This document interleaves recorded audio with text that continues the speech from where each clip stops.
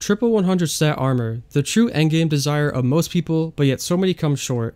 What's up guys, Frosty here, and today we're going to cover 5 big points that help you acquire a triple 100 stat build of choice, easily and quickly. Today we're going to cover how to actually acquire high stat armor, the numbers on legendary armor to better understand how it actually works to help you hit triple 100 stats, how to essentially speedrun the bonfire bash activity on the EAZ due to an exploit, how to juice up armor on your characters that you haven't even played the event on, and the best way to farm silver leaves for both solo and group play. Alright, so as you all know, Solstice is the new event. Overall, it's kinda bland, but on the flip side, it basically drowns you in high stat armor drops.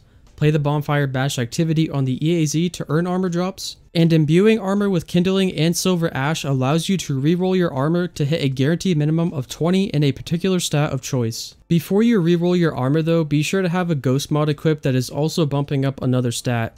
However, you can't stack these two things to get an insane spike in one particular stat of choice. For example, you can't reroll your Solstice armor for recovery while also having a recovery mod on your Ghost to focus a piece of armor to have 30 recovery. It doesn't work that way. Next up, let's talk about the best ways to farm silver leaves, which you'll need a lot of to convert into silver ash to do all this.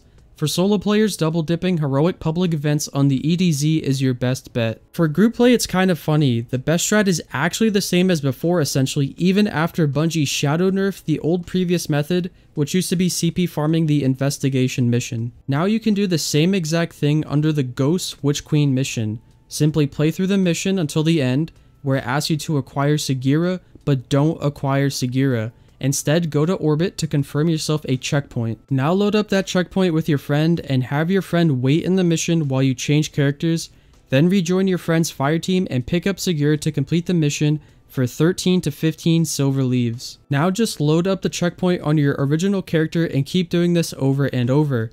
You'll reach the maximum of 100 silver leaves doing this in no time. Now that you're capped on silver leaves, jump into the bonfire bash to convert them into silver ash.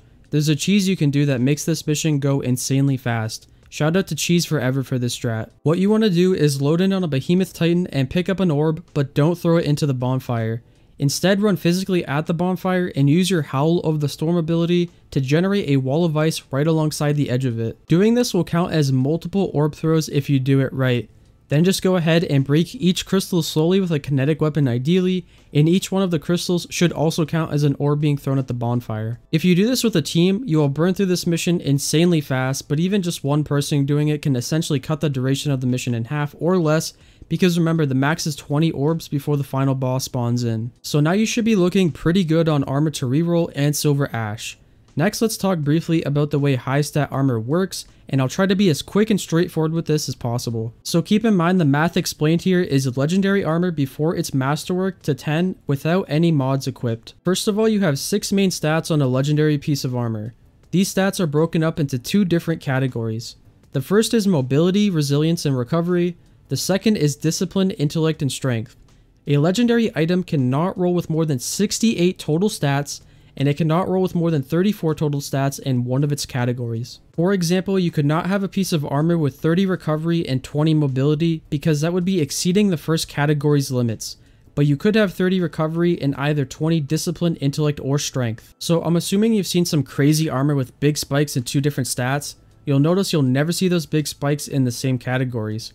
This is because each category is limited to 34 like I said earlier. There are some pieces of blue armor that are an exception to this rule, but we're talking about legendary armor here. Knowing this information is extremely helpful for trying to acquire armor with the stats you want for your build. So let's take my Warlock for example. I want to get high res, recovery, and discipline for one of my builds. Well, all I need to do is reroll a piece of Solstice armor with recovery while also having a res mod on my ghost. What this will do is give me a piece of armor that is guaranteed to have the first category essentially taken care of and also allows me to avoid points in mobility, which is a stat that I don't value. So again, remember the armor can't roll with more than 34 stats in a single category, and I'm forcing a minimum of 30 here between the recovery and the res, this also allows the armor to potentially get a big spike in one of the second category stats. I personally always focus armor for either recovery or intellect because those are the two most expensive stats to put on a piece of armor. Recovery mods cost 4 and intellect mods cost 5, while mobility, resilience, discipline, and strength mods all only cost 3 energy each. Next let's talk about how you can throw a build together without staying up late at night with a calculator crunching numbers, going through your vault manually, I would recommend Destiny Item Manager and D2ArmorPicker.com for this. With the D2 Armor Picker, you can essentially map out your builds on a spreadsheet because it does all the number crunching for you by showing you what you have and what you're capable of putting together. This is of course assuming that you've saved up some high stat armor for the website to actually pull data from, because it would be hard for it to calculate a build from things that don't exist. Lastly, let's cover armor rerolling for characters you don't plan on playing on for for the duration of the Solstice event.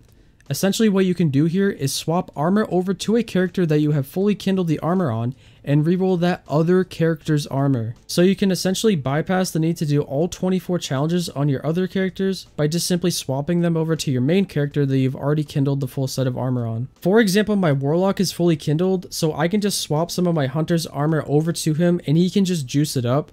The only thing you can't do if you decide to follow this approach is you won't be able to put the glow on your solstice armor but if you don't care about that and you only want the easy high stat armor, this is a good way to condense your grind. Anyways, that's all for today's video. I hope you enjoyed and good luck making your triple 100 stat builds during this year's summer solstice event. I'll catch you in the next one. Stay frosty.